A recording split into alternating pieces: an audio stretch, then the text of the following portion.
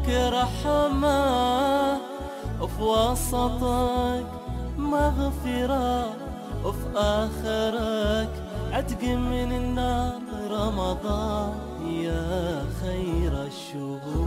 رمضان يا رمضان رمضان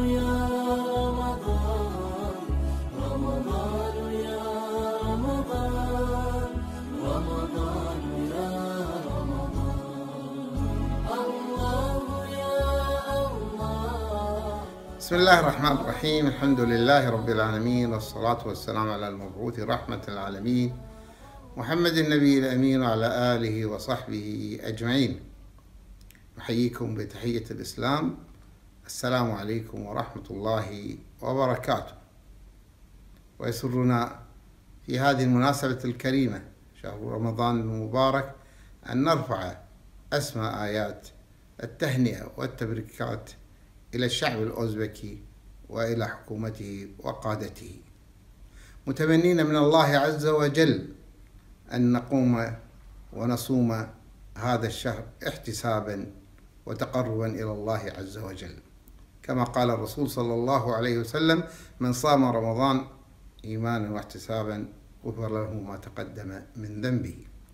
وهذا الشهر المبارك وشهر مبارك وشهر خير.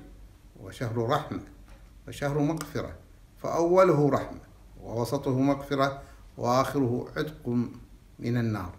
إذا أردنا أن نحصي ونعد هذه الفضائل العظيمة في هذا الشهر المبارك من إجابة الدعوة ومن آه، تصفيد الشياطين أي ربط الشياطين ومن الخفة للعبادة ومن حقيقة يعني العلاقة بالله عز وجل لأن الصيام يمثل التجرد الحقيقي لله سبحانه وتعالى.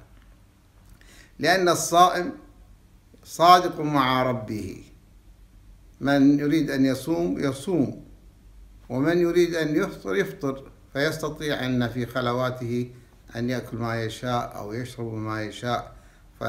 فالصادق في هذا الشهر توجها وعبادة وصوما وقض الطرف وأيضا حفظ اللسان وعدم يعني الاعتداء على الناس بالأذى أو الكلام أو غير ذلك فلا شك أن هذا الصوم كما أخبر الله عز وجل عنه في الحديث القدسي الصوم لي وأنا أجزي به.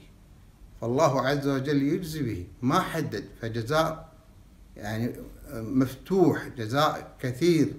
جزاء غير محدود وذلك فضل من الله عز وجل.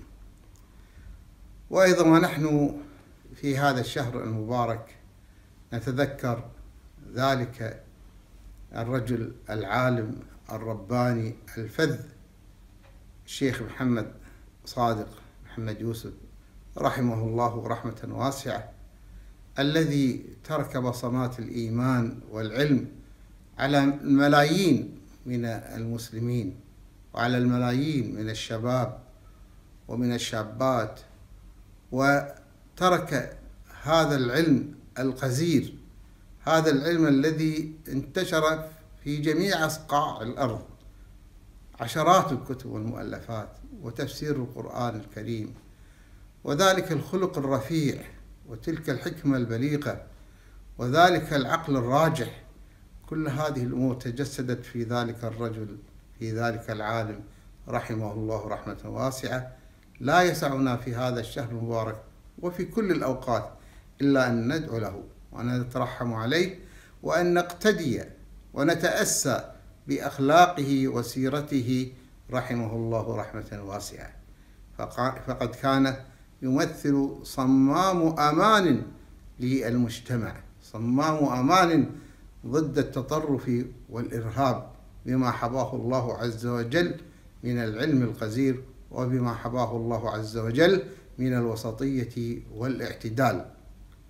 وهنا نصيحتي لإخواني وأحبابي من تلاميذ الشيخ محمد صادق أن يحذو حذو الشيخ رحمه الله وأن يكونوا على مثل أخلاق الشيخ وعلى منهج الشيخ في الوسطية والاعتدال والحكمة وأن يكونوا هم صمامات أمان لمجتمعهم وأن يكونوا أداة خير لمجتمعهم أداة أمن وأمان وأداة استقرار وازدهار للمجتمع.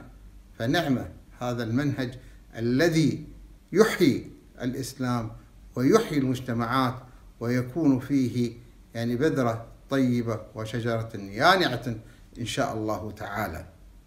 والحقيقة التي لا بد أن نقولها في مثل هذا الشهر المبارك أن لا نفرط ولا في لحظة من لحظات هذا الشهر إلا ونستثمره في دعاء أو صلاة أو قيام أو تلاوة قرآن أو أي عمل من الأعمال الصالحة. فقد كان العلماء السابقين رضوان الله عليهم إذا دخل رمضان أغلقوا الكتب وتفرقوا لتلاوة القرآن وللعبادة وللذكر وللدعاء.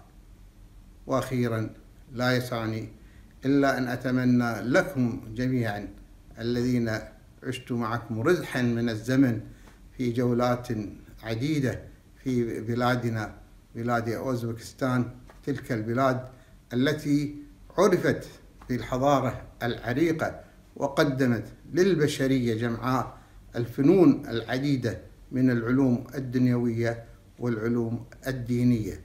فأنتم أجيال وأحفاد أولئك الذين ملأوا الدنيا علما وثقافة وفكرا أن تكونوا على خطاهم وأن تقتدوا بهم ليكون لأوزبكستان إن شاء الله والشعب الأوزبكي ذلك العطاء الحضاري الكبير الذي ساهم في نهضة البشرية متمنيا لكم جميعا إن شاء الله تعالى أن نوفق جميعا لإحياء ليالي رمضان وأن يكرمنا بتلك الليلة المباركة ليلة القدر التي هي خير من ألف شهر وأن ندعو فيها لشيخنا وحبيبنا رحمه الله الشيخ محمد صادق الدعاء من صميم القلوب لما له من أثر كبير في حياتنا وفي فكرنا وفي ثقافتنا وفقهنا. والسلام عليكم ورحمة الله وبركاته.